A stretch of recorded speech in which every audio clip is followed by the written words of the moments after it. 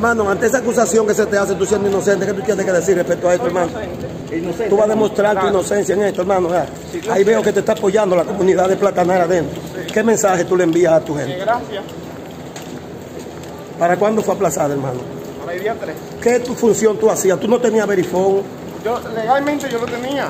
Pero, eh, yo, lo, yo lo solicité me lo aprobaron. Pero te lo habían suspendido hace un año, ¿o ¿fue? Un año, eh, de noviembre a diciembre del año pasado.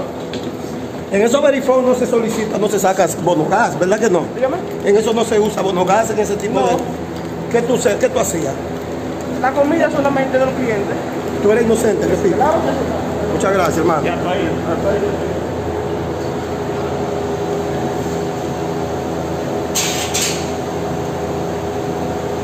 Fue aplazada.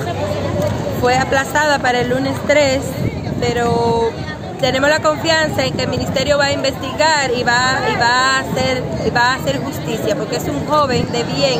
Y todos nosotros venimos en calidad, so- eh, son, toda la comunidad nuestra es pequeña. ¿Cómo es el nombre de ese joven? José, José Antonio eh, Santana Morón. ¿De qué comunidad han venido ustedes? De Platanal adentro, nuestra comunidad es una comunidad pequeña y el número de personas que está aquí son los beneficiarios de la tarjeta que Que compran. demuestra que esa consta que él hizo su trabajo como va. que él nunca nosotros, eh, que toda la comunidad dice que hace falta en la comunidad el verifón, que se le devuelve el verifón para que él vuelva a vender, Ok. como, con- honestamente como él siempre lo ha hecho. Ok, muchísimas Él gracias. siempre lo ha hecho bien.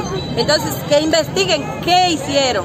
Porque el, el verifón se lo cancelaron y siguieron y, y eh, desde el 2020.